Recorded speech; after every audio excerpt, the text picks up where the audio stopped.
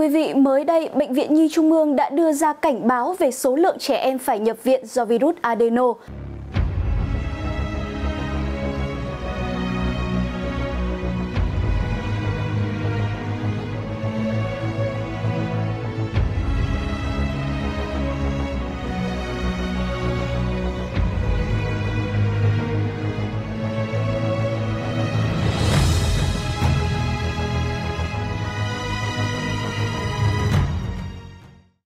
Và để hiểu rõ hơn về căn bệnh này, trong chương trình Vì Trẻ Em ngày hôm nay, chúng tôi đã mời tới trường quay tiến sĩ bác sĩ Nguyễn Văn Thường, Giám đốc Bệnh viện Đa khoa Đức Giang, Hà Nội, là một bác sĩ chuyên điều trị nhi khoa để cung cấp thêm thông tin cho các cha mẹ về cách phòng chống căn bệnh này.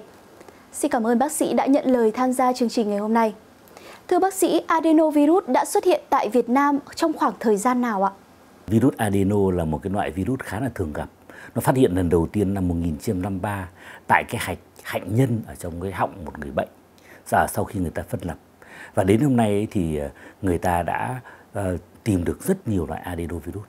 Trong đó người ta chia làm hai cái nhóm chính. Cái nhóm thứ nhất ấy là gây bệnh trên các cái loài mà động vật có lông vũ như là chim như là ờ, các cái loài gà. Và thứ hai là cái nhóm mà gây bệnh trên các động vật có vú trong đó có người.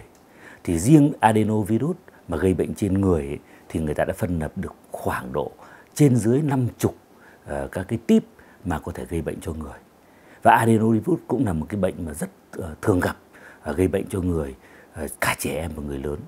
À, mùa hay gặp adenovirus thì thường là mùa mà cuối xuân đầu hè thì uh, sẽ gặp nhiều hơn. Vậy thì adenovirus sẽ lây qua những đường nào ạ? À, adenovirus thì gây lây ra rất nhiều con đường thì ờ, có những cái con đường có thể qua tiếp xúc trực tiếp.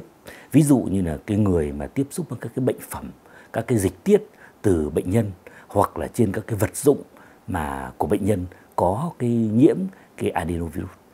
Thứ hai là có thể lây qua cái con đường như là bể bơi.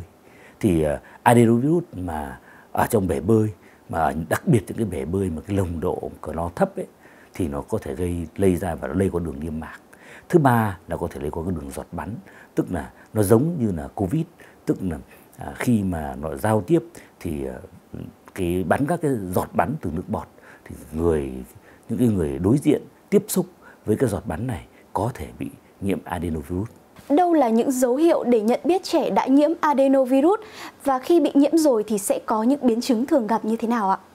Adenovirus thì gây ra gây ra rất cái nhiều bệnh ở nhiều cơ quan. Nếu ở cơ quan nào thì nó sẽ sẽ có cái triệu chứng ở cơ quan đấy.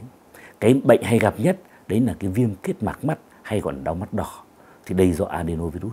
Thì nếu mà bị thì thông thường thì trẻ sẽ bị uh, ho sốt rồi đau mắt đỏ và uh, đặc biệt là có rửa có rửa à, tiếp theo nó có thể lây bệnh qua đường hô hấp. Thì hô hấp thì trẻ có thể ho có thể sốt có thể đau họng mệt mỏi có thể lôn chớ ăn uống kém à, nếu mà bị viêm phổi thì trẻ có thể gây ra à, các cái triệu chứng nặng nề hơn thậm chí là khó thở suy hấp thậm chí biến chứng nặng nữa có thể tử vong. Nếu adenovirus mà gây ra các cái bệnh ở dạ dày ruột thì trẻ có thể gây ra các triệu chứng của cái viêm dạ dày trào ngược dạ dày rồi tiêu chảy. Và người ta khẳng định rằng là cái tiêu chảy do adenovirus là cái nguyên nhân hàng đầu chỉ đứng có sau cái rotavirus ngoài ra adenovirus có thể lây ra gây ra các bệnh như là viêm bàng quang chảy máu hoặc viêm niệu đạo hoặc là thậm chí là vuông viêm buồng cổ tử cung ở phụ nữ. Dạ vâng, vậy thì hiện nay các bệnh viện thì đã đưa ra phác đồ điều trị như thế nào cho căn bệnh adenovirus ạ? Về điều trị adenovirus thì ngày nay uh, chưa có các thuốc điều trị đặc hiệu. Chủ yếu là nâng cao thể trạng, tăng cường hệ thống miễn dịch và uh, cơ thể khi mà có cái miễn dịch đủ mạnh sẽ tự loại trừ virus. Và hoặc trường hợp thứ hai là chúng ta điều trị là điều trị các cái à, bội nhiễm, ví dụ khởi đầu là nhiễm virus sau đó bội nhiễm vi khuẩn thì chúng ta phải dùng kháng sinh. Nếu trẻ có ho chúng ta phải dùng giảm ho. Trẻ viêm kết mạc mắt thì chúng ta phải vệ sinh mắt phải à, điều trị à, chống cái khô giác mạc. À, nếu mà viêm bằng quang chảy máu thì chúng ta cũng chủ yếu điều trị như là vitamin C rồi là một số các loại thuốc kháng vitamin tức là điều trị chủ yếu là điều trị triệu chứng điều trị biến chứng và nâng cao thể trạng cho trẻ cho trẻ và cho bệnh nhân mà thôi. Dạ vâng, à, vậy thì phòng bệnh vẫn hơn là chữa bệnh thì cha mẹ cần làm gì để phòng căn bệnh adenovirus ạ? Việc thứ nhất là chúng ta hạn chế tiếp xúc đông người, đặc biệt là tiếp xúc với cái khoảng cách ngắn. Khi tiếp xúc thì chúng ta nên đeo khẩu trang. Thứ hai là vì có thể lây qua trực tiếp, do vậy là chúng ta phải thường xuyên rửa tay. À, sau rửa tay bằng xà phòng, sau khi tiếp xúc với các cái đồ vật mà nghi có nhiễm à, adenovirus. À, khi trong gia đình có bệnh nhân hoặc là thì bị bệnh nhân bị nhiễm adenovirus thì chúng ta phải tổ chức cách ly làm sao mà hạn chế tiếp xúc nếu biết đi bể bơi thì trong cái giai đoạn mùa dịch thì chúng ta cũng hạn chế bởi vì là bể bơi cũng là một trong cái môi trường rất thường gặp uh, lây nhiễm adenovirus. À, trên thế giới thì người ta còn có một cái biện pháp nữa người ta có thể dùng vaccine. Tất nhiên là vaccine adenovirus là một loại vaccine giảm động lực, độc lực, vaccine sống giảm động lực và hiện tại thì chưa phổ biến. Vaccine này thì thường là dùng cho cái người mà trên 17 tuổi và dưới 60 tuổi thôi. Do vậy là nó không không thật là phổ biến. Thưa quý vị, phòng bệnh vẫn hơn là chữa bệnh. Mong rằng những chia sẻ ngày hôm nay của bác sĩ Nguyễn Văn Thường sẽ giúp các bậc cha mẹ có thêm những biện pháp tích cực để phòng chống virus adeno cho trẻ. Chương trình Vì Trẻ Em xin phép được khép lại tại đây. Cảm ơn quý vị đã quan tâm theo dõi.